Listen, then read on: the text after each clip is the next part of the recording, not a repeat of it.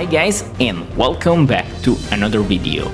If you don't know me, I am NastyLeoS and I am an official maestro of content for what concern Looney Tunes World of Mayhem.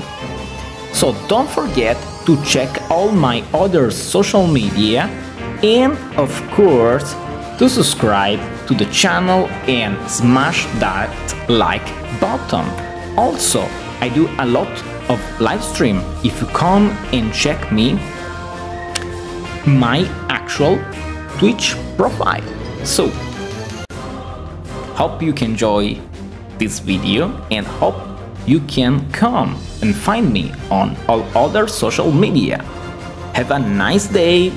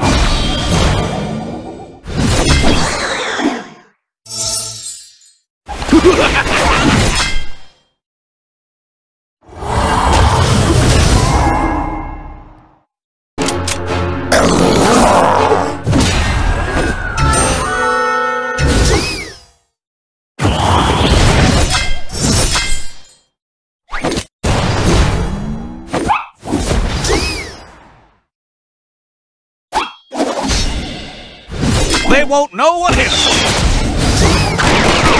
'em.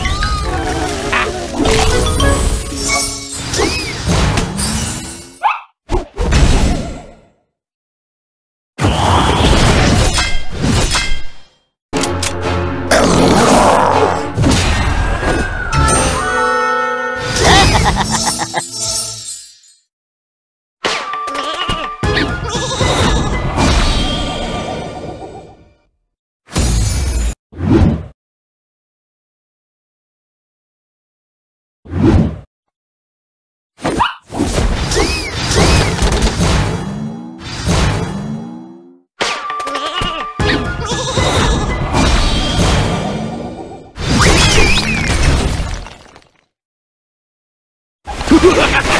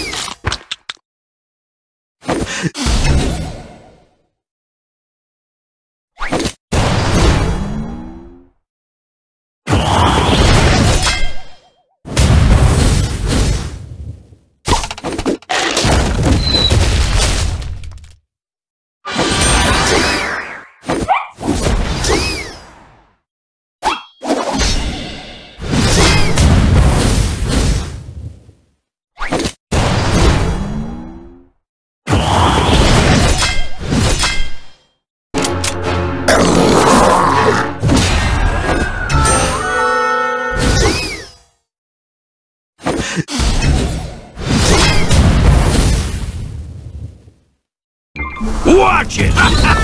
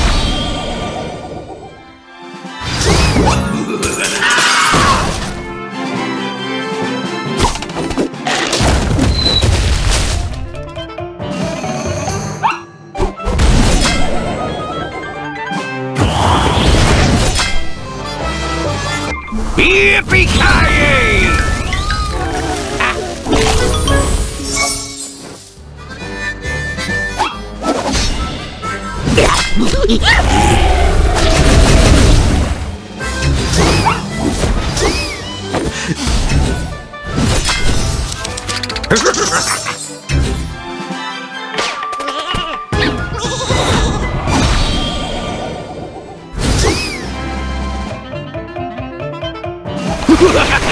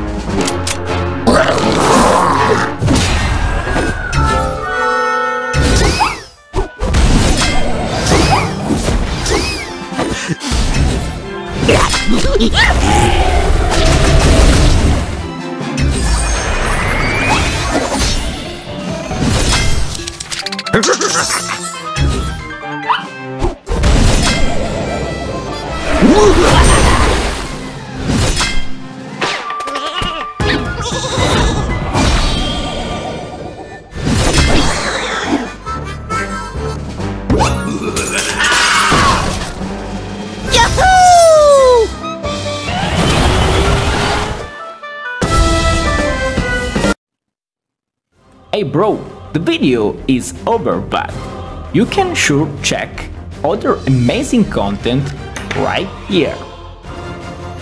Thank you guys and have a nice day.